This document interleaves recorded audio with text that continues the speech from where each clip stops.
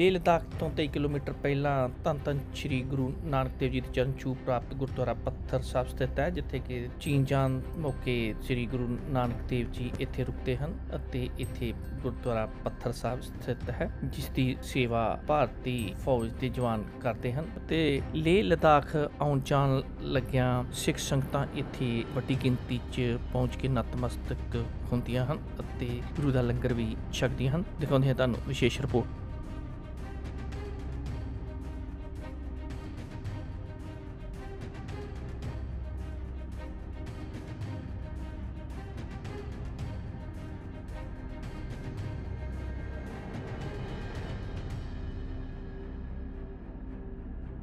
ਲੇਹ ਲਦਾਖ ਤੋਂ 25 ਕਿਲੋਮੀਟਰ ਸ਼੍ਰੀਨਗਰ ਵਾਲੇ ਪਾਸੇ ਸ਼੍ਰੀ ਗੁਰੂ ਨਾਨਕ ਦੇਵ ਜੀ ਦੀ ਛੂਹ ਪ੍ਰਾਪਤ ਇਤਿਹਾਸਿਕ ਗੁਰਦੁਆਰਾ ਪੱਥਰ ਸਾਹਿਬ ਹੈ ਜਿੱਥੇ ਕਿ ਜਦ ਸੰਗਤਾਂ ਲੇਹ ਲਦਾਖ ਨੂੰ ਜਾਂਦੀਆਂ ਨੇ ਤੇ ਰਸਤੇ ਵਿੱਚ ਸ਼੍ਰੀ ਗੁਰੂ ਨਾਨਕ ਦੇਵ ਜੀ ਦੀ ਛੂਹ ਪ੍ਰਾਪਤ ਪੱਥਰ ਸਾਹਿਬ ਤੇ ਵੀ ਦਰਸ਼ਨ ਕਰਦੀਆਂ ਤੇ ਨਤਮਸਤਕ ਹੁੰਦੀਆਂ ਨੇ।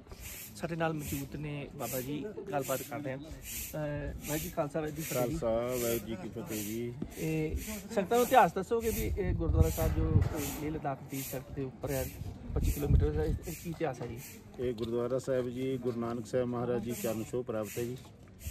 1517 ਈਸਵੀ ਨੂੰ ਗੁਰੂ ਨਾਨਕ ਸਾਹਿਬ ਮਹਾਰਾਜ ਜੀ ਇਸ ਧ- ਧਰਤੀ ਤੇ ਇਸ ਥਾਂ- ਸਥਾਨ ਤੇ ਪਹੁੰਚੇ ਨੇ। ਜਦੋਂ ਸੰਸਾਰ ਨੂੰ ਤਾਰਦੇ ਹੋਏ, ਜਗਤ ਜਰਨ ਦੇ ਵਿਸਾਰ ਲੈਂਦੇ ਹੋਏ ਗੁਰੂ ਸਾਹਿਬ ਜੀ ਇਸ ਸਥਾਨ ਤੇ ਪਹੁੰਚੇ ਤਾਂ ਸੰਗਤਾਂ ਨੇ ਇੱਥੇ ਬੜਾ ਗੁਰੂ ਸਾਹਿਬ ਜੀ ਦਾ ਸਤਿਕਾਰ ਕੀਤਾ ਤੇ ਬੇਨਤੀ ਕੀਤੀ, ਇੱਥੇ ਇੱਕ ਰਾਖਸ਼ ਰਹਿੰਦਾ ਸੀ ਪਹਾੜ ਦੇ ਉੱਤੇ। ਤੇ ਸੰਗਤਾਂ ਨੇ ਬੇਨਤੀ ਕੀਤੀ ਕਿ ਸੱਚੇ ਪਾਤਸ਼ਾਹ ਜੀ ਉਹ ਰਾਖਸ਼ਾਂ ਨੂੰ ਬੜਾ ਤੰਗ ਕਰਦਾ ਹੈ। ਲੋਕ ਬੜੇ ਦੁਖੀ ਨੇ ਇਸ ਤੋਂ, ਕਿਉਂਕਿ ਗੁਰੂ ਨਾਨਕ ਸਾਹਿਬ ਮਹਾਰਾਜ ਜੀ ਨੇ ਸਾਰੇ ਸੰਸਾਰ ਨੂੰ ਤਾਰਿਆ ਹੈ ਤੇ ਸੰਸਾਰ ਨੂੰ ਤਾਰਦੇ ਤੇ ਔਰ ਤਾਰਦੇ ਹੋਏ ਜਦੋਂ ਇਸ ਸਥਾਨ ਤੇ ਪਹੁੰਚੇ ਤਾਂ ਮਹਾਰਾਜ ਜੀ ਨੇ ਉਹਨਾਂ ਲੋਕਾਂ ਦੀ ਪੁਕਾਰ ਸੁਣੀ ਤੇ ਕਈ ਦਿਨ ਇਸ ਸਥਾਨ ਤੇ ਗੁਰੂ ਸਾਹਿਬ ਜੀ ਵਿਰਾਜੇ। ਤੇ ਉਹ ਰਾਖਸ਼ ਬੜਾ ਅਰਖਾਲੂ ਸੀ। ਗੁਰੂ ਨਾਨਕ ਸਾਹਿਬ ਮਹਾਰਾਜ ਜੀ ਦੇ ਨਾਲ ਈਰਖਾ ਕਰਨ ਲੱਗਿਆ ਕਿ ਇਹਨਾਂ ਦੀ ਬੜੀ ਲੋਕ ਵਡਿਆਈ ਕਰਦੇ ਨੇ ਤੇ ਗੁਰੂ ਸਾਹਿਬ ਜੀ ਨੂੰ ਉਸਨੇ ਮਾਰਨਾ ਚਾਹਿਆ। ਪਹਾੜ ਦੇ ਉੱਤੋਂ ਇੱਕ ਪੱਥਰ, ਬਹੁਤ ਵੱਡਾ ਪੱਥਰ ਉਹਨੇ ਰੋੜ ਦਿੱਤਾ ਕਿ ਪੱਥਰ ਦੇ ਥੱਲੇ ਆ ਕੇ ਮਰ ਜਾਣਗੇ। ਜਦੋਂ ਉਹ ਪੱਥਰ ਆਇਆ ਉਤੋਂ ਤਾਂ ਗੁਰੂ ਸਾਹਿਬ ਜੀ ਬੈਠੇ ਸੀ, ਆਪਣੇ ਆਨੰਦ ਵਿੱਚ ਸਿਮਰਨ ਕਰ ਰਹੇ ਸੀ। ਤਾਂ ਉਹ ਪੱਥਰ ਆ ਕੇ ਜਦੋਂ ਮਹਾਰਾਜ ਜੀ ਦੇ ਸਰੀਰ ਨਾਲ ਟੱਚ ਟੱਚ ਕੀਤਾ ਤਾਂ ਉਹ ਪੱਥਰ ਮੋਮ ਵਾਂਗੂ ਹੋ ਗਿਆ। ਤੇ ਮਹਾਰਾਜ ਜੀ ਦੇ ਨਾਲ ਨਾਲ ਆ ਕੇ ਜਿਵੇਂ ਮੋਮ ਹੁੰਦਾ ਹੈ ਨਾਲ ਆ ਕੇ ਖੜ ਗਿਆ। ਤਾਂ ਉਹ ਰਾਖਸ਼ ਉੱਤੋਂ ਉਤਰ ਉਤਰ ਕੇ ਆਇਆ, ਜਦੋਂ ਦੇਖਿਆ ਕਿ ਮਰ ਗਏ ਹੋਣਗੇ। ਜਦੋਂ ਆ ਕੇ ਦੇਖਿਆ ਤਾਂ ਉਹ ਪੱਥਰ ਗੁਰੂ ਸਾਹਿਬ ਜੀ ਦੇ ਨਾਲ ਲੱਗਿਆ ਹੋਇਆ ਹੈ। ਉਹਨੇ ਆਪਣਾ ਪੈਰ ਦਾ ਪੈਰ ਮਾਰਿਆ ਉਹ ਪੱਥਰ ਦੇ ਨਾਲ ਤੇ ਉਹ ਪੱਥਰ ਵੀ, ਉਹ ਪੈਰ ਵੀ ਉਹਦਾ ਵਿੱਚ ਕੁੱਟ ਗਿਆ ਉਹਦੇ ਉਹ ਬੜਾ ਹੈਰਾਨ ਹੋਇਆ ਤੇ ਮਹਾਰਾਜ ਦੇ ਚਰਨਾਂ ਤੇ ਡਿੱਗਿਆ ਕਿ ਕੋਈ ਅੱਲਾ ਦਾ ਪਿਆਰਾ ਇਹ। ਤੇ ਚਰਨਾਂ ਤੇ ਡਿੱਗ ਕੇ ਬੇਨਤੀ ਕੀਤੀ, ਪਾਤਸ਼ਾਹ ਵੀ ਮੈਨੂੰ ਮੇਰੇ ਤੋਂ ਬਹੁਤ ਵੱਡੀ ਗਲਤੀ ਹੋ ਗਈ ਹੈ। ਮੈਨੂੰ ਮਾਫ ਕਰ ਦਿਓ। ਤਾਂ ਗੁਰੂ ਨਾਨਕ ਸਾਹਿਬ ਮਹਾਰਾਜ ਕਹਿੰਦੇ, ਭਾਈ, ਜੇ ਤੈਨੂੰ ਪਰਮਾਤਮਾ ਨੇ ਕੋਈ ਰਿੱਧੀਆਂ ਸਿੱਧੀਆਂ ਦੇ ਦਿੱਤੀਆਂ, ਤਾਂ ਇਹਦੇ ਨਾਲ ਦੁਨੀਆ ਦਾ ਭਲਾ ਕਰ। ਦੁਨੀਆ ਦਾ ਭਲਾ ਕਰਨ ਵਾਸਤੇ ਜੋ ਇਹ ਰਿੱਧੀਆਂ ਸਿੱਧੀਆਂ ਉਹਨਾਂ ਨੂੰ ਵਰਤ। ਇਹਨਾਂ ਨੂੰ ਲੋਕਾਂ ਦੇ ਨੁਕਸਾਨ ਵਾਸਤੇ ਨਾ ਵਰਤ। ਤੇ ਉਹਨੇ ਫਿਰ ਬੇਨਤੀ ਕੀਤੀ, ਪਾਤਸ਼ਾਹ, ਮੈਨੂੰ ਕਿ ਕਿਰਪਾ ਕਰੋ, ਮਾਫ ਕਰ ਦਿਓ। ਜਿਵੇਂ ਆਪ ਜੀ ਕਹੋਗੇ, ਮੈਂ ਉਹ- ਉਸੇ ਤਰ੍ਹਾਂ ਕਰਾਂਗਾ।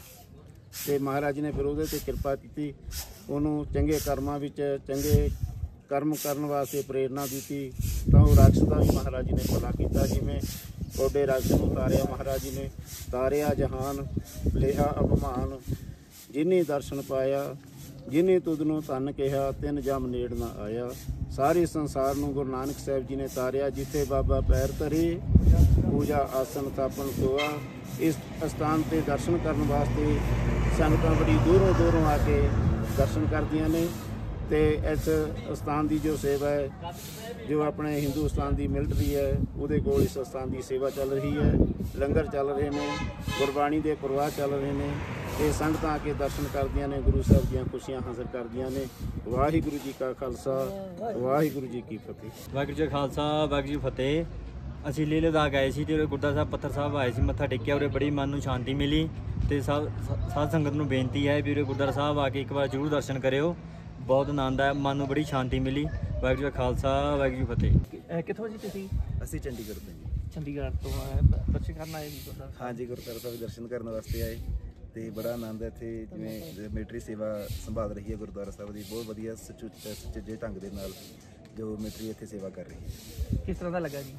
ਬਹੁਤ ਆਨੰਦ ਹੈ ਕਿਉਂਕਿ ਸ਼ਾਂਤੀ ਇੰਨੀ ਹੈ ਚਾਰੇ ਪਾਸੇ ਪਹਾੜ ਨੇ ਸਮਤਲ ਜਿਹੜਾ ਹੈਗਾ ਇਲਾਕਾ ਵਿੱਚ ਜਿੱਥੇ ਗੁਰਦੁਆਰਾ ਸਾਹਿਬ ਬਣਿਆ ਹੋਇਆ ਹੈ। ਤੇ ਬਹੁਤ ਵਧੀਆ ਇਹ ਏਰੀਆ ਹੈ ਜਿੱਥੇ ਬੜੀ ਸ਼ਾਂਤੀ ਮਿਲਦੀ ਹੈ ਮਨ ਨੂੰ ਟਿਕਾ ਮਿਲਦਾ ਹੈ